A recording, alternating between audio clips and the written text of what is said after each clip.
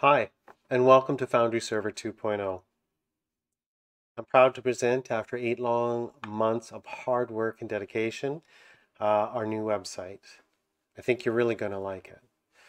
Uh, just a big shout out to everybody on the Discord channel that helped do the beta testing and uh, creative input.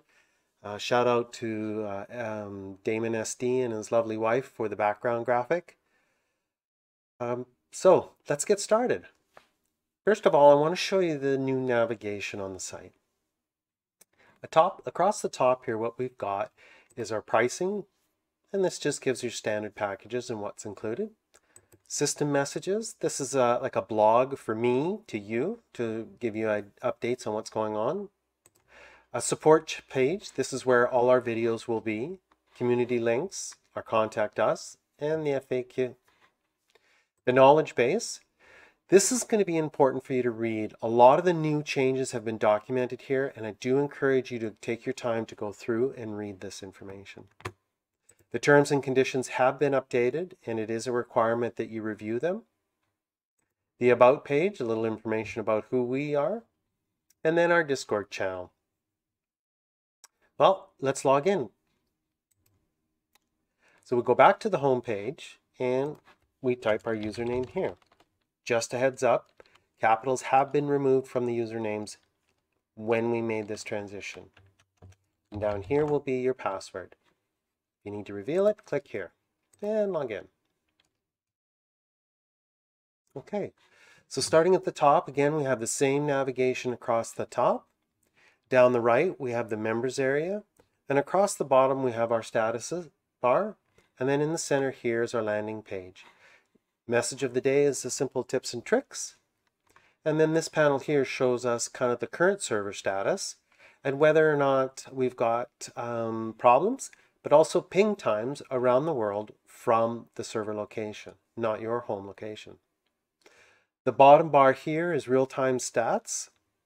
So message waiting, your inbox, the status of your account, subscription end date, your bandwidth used. This is showing an error right now because there has no bandwidth been used on this account.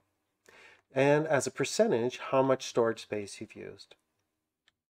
By the way, bandwidth is calculated in your billing month, not the calendar month. Uh, and then game control. This is the most kind of important part to get started. So here what we've got is two buttons. The large red one tells you that the game server is off and you can see that it's not clickable. We go to the smaller green one, which is clickable, which indicates to turn your server on, click the green button. The icons have changed, and now we've got our Foundry dice, which indicates the game is running and clickable. So let's do that.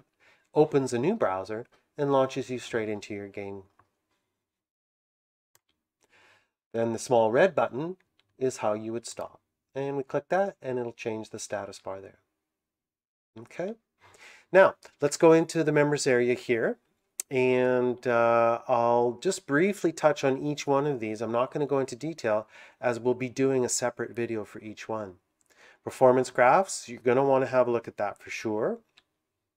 New web-based file manager, your inbox, backup and restore, your server config, choosing your version and editing your S3 bucket, editing your password, your name, that sort of stuff a log of all the emails that we've sent to you and whether they've been delivered properly, your ability to change your credit card information, to upgrade or downgrade your subscription package, reset your account to factory fresh, close the account, and log out.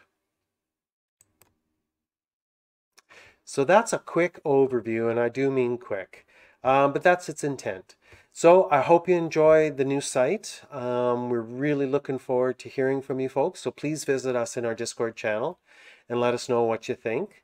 Um, if you do have any uh, problems or challenges, again, come to Discord. We'll be able to help you out. If not, click on the support and send us an email. So take care, everybody. And until next time, happy gaming.